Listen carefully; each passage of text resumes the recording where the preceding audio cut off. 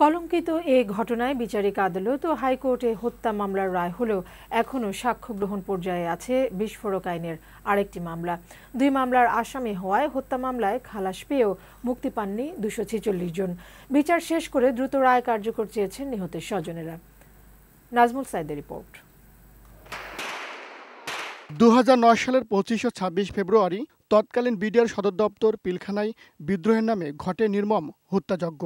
দরবার চলাকালে দরবার হলেই তৎকালীন বিডিআর প্রধান মেজর জেনারেল শাকিল আহমেদকে হত্যা করে উন্মত্ত জওয়ানেরা। বেছে বেছে হত্যা করা হয় বিডিআরের সেনা কর্মকর্তাদের। জাতীয় জীবনে রচিত হয় আরেক কলঙ্কময় দিনের।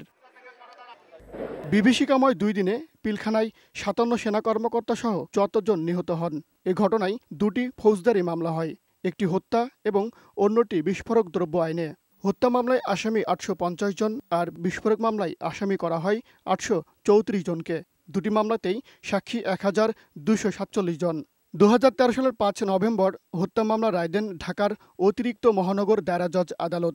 রায়ে একশো বাহান্ন জনকে ফাঁসি, একশো ষাট জনকে যাবজ্জীবন এবং দুশো ছাপ্পান্ন জনকে বিভিন্ন মেয়াদে কারাদণ্ড দেওয়া হয়। খালাস পান দুশো সাতাত্তর জন। পরে হাইকোর্ট গত বছরের নভেম্বরে একশো বাহান্ন জনের মধ্যে একশো উনচল্লিশ জনের ফাঁসি রায় বহাল রাখে। ফাঁসির দণ্ড থেকে মুক্তি পাওয়া তেরো জনের মধ্যে আটজন যাবজ্জীবন, চারজন পুরোপুরি খালাস পান। এসব রায়ের বিরুদ্ধে ইতোমধ্যে উচ্চ আদালতে আপিলের প্রক্রিয়া শুরু করেছে আসামি পক্ষ।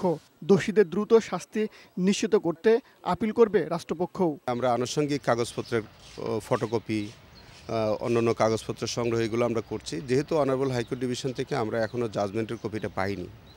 সেটার জন্য আমরা মূলত অপেক্ষা করছি। যত শীঘ্রই পারি আপিল বিভাগে এই মামলাটা শুনানি করে আমরা দোষী যারা, তাদেরকে শাস্তির আওতায় আনতে পারব।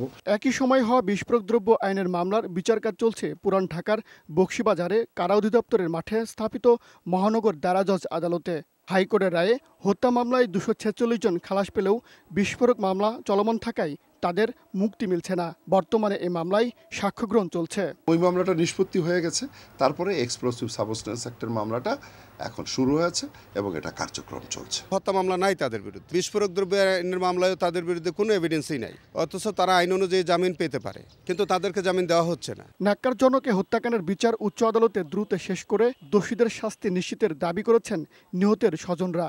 যারা এই ঘটনাটা ঘটিয়েছে তাদের দৃষ্টান্তমূলক শাস্তি হোক এবং খুব দ্রুত এই শাস্তি রায় কার্যকর করা হোক। ফাঁসি কার্যকর হলে স্বজন হারানোর ব্যথা কিছুটা লাঘব হবে বলেও জানান নিহতদের পরিবারের সদস্যরা। নাজমুল সাইদ, বৈশাখী সংবাদ, ঢাকা।